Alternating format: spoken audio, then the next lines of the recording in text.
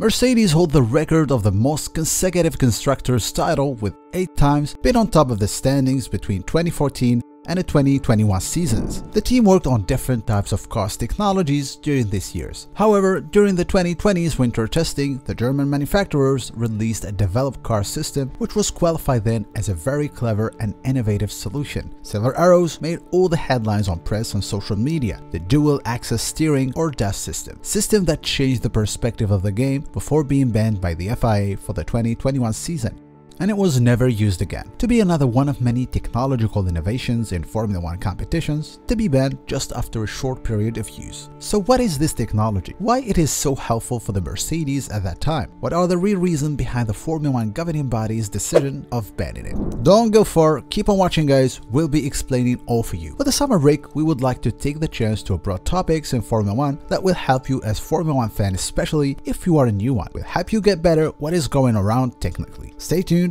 a series of new videos treating Formula 1 technical information are on the way. So subscribe to our channel and activate the bell to guarantee you'll be receiving all our new videos. Invite your friends if they are interested in such a theme. So according to the Formula 1 evolving rules, some teams may create some piece of technology on their car and it might be banned later on by the FIA. The DAS system or the dual axis steering. This system changed a lot, not only concerning the steering angle of the wheels, but also the toe angle between them. We will be treating this subject to help you understand understand better why this system was great innovative technology Silver Arrow came up with and at the end we'll be revealing why the FIA took the decision to ban it. But first, we'll be obliged to pass by the toe and understand what a toe is. Speaking technically, toe is actually a part of the suspension setup being adjusted for each particular track. Why? Because it describes the angle of the wheels relative to the direction of the car. So applying this concept, wheels with a zero toe will point straight ahead. Wheels with positive toe will point inwards in the direction of the center line of the car, while wheels with a negative toe will just pointing outwards the center line of the car. To understand better this theory, we'll be explaining it in a simple way.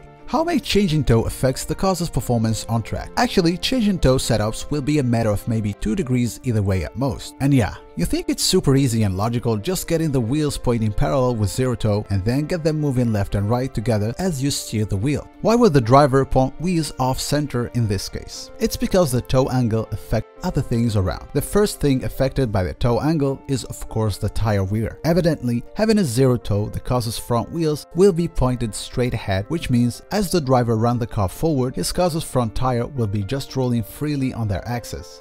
However, if the tires are splayed out, the inside will be dragging along the track, which will expose the inside of the tree to be heating and wearing. In the same way, if the tires are toe-in, think about it guys. The outside of the tire tread will be dragging slightly along the track, which will cause issues with the temperature and the wear that will necessarily have to be managed. If the angles are exaggerated with only a degree of toe, this wouldn't be a huge problem actually. However, this should always be taken in consideration. To minimize wear, drivers might think about keeping to zero toe especially on the straights. A zero toe will give drivers the best straight line speed. If a driver think about introducing toe angle to his front wheels, he's probably wanting to go in a bit different direction than straight ahead, so he will be just wasting power, dragging them along the track instead of free rolling like the previous situation. These details might look banal, but an old Formula 1 fan would surely understand that the race is always played on small details. Another important perspective that you guys may not have an idea about, that you guys may not have an idea about toe on the corners. Zero toe here won't be good a choice actually. When the car is running in corner, the inside tire is always tracing a tighter curve than the outside tire. So when turning radius gets tighter and tighter, the, driver will be obliged to steer more and more for this reason and to have more stability through the corners. And to be able to increase his speed and maximize the grip, the inside tire must be more angled through the corner than the outside tire in this case. The driver must add more angling to his front wheel toe outwards.